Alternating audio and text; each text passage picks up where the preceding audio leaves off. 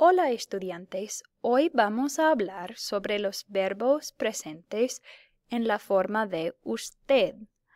We're going to be talking about present tense verbs in the form of usted, which is the other way to say you.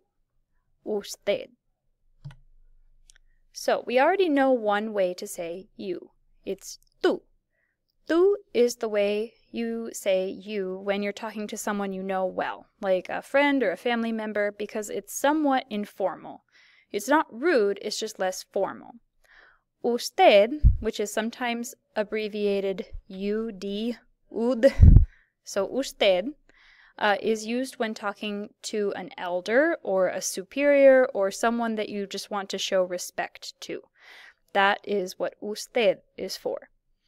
It is sometimes a good idea to start out talking to someone in the form of usted, uh, if they're a new acquaintance, just to show them respect until they tell you otherwise. Okay, they tell you, oh, you can call me tú. So we know now two ways to say you, tú and usted. Which one do you think you would use if you were talking to the President of Mexico? Señor Obrador. You would use usted. What if you were talking to your older brother? You would usually use tú. Even though your brother is older than you, he's not really your elder. You don't necessarily want to show him a lot of respect, and you know him really well, so you'd probably call him what about your boss?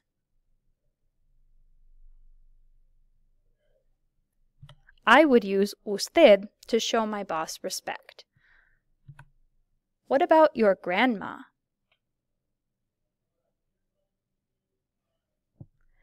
Normally, with your grandmother, you, was, you would use usted.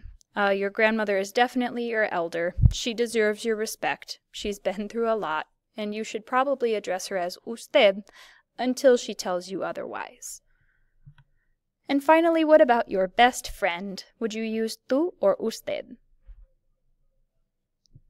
I hope that's an easy decision. You would use tú.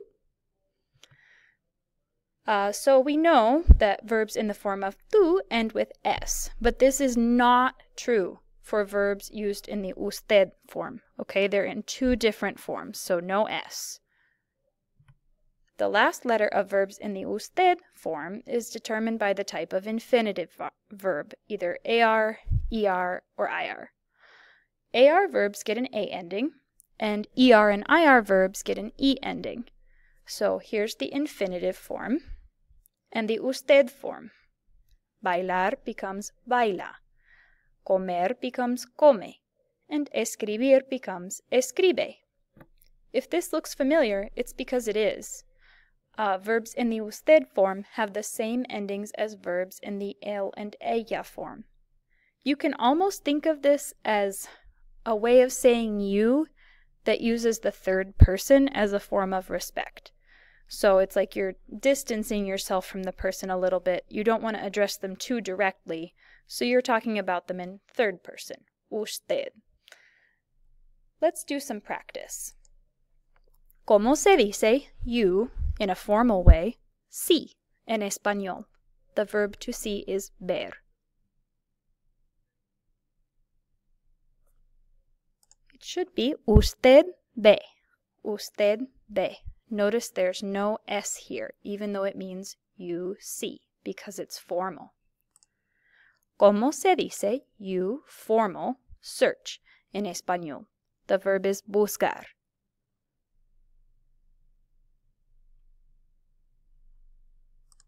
The answer is usted busca.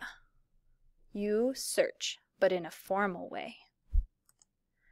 ¿Cómo se dice you formal write in español? The verb is escribir.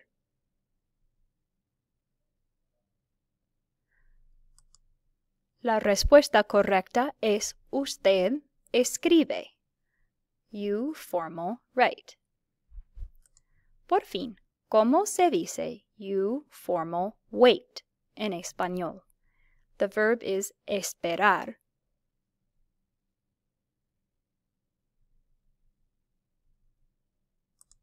La respuesta correcta es usted espera. Usted espera. Uh, that's all the practice we're going to do for right now because you already are familiar with this verb form, but we'll practice more in class. Muchas gracias y adiós.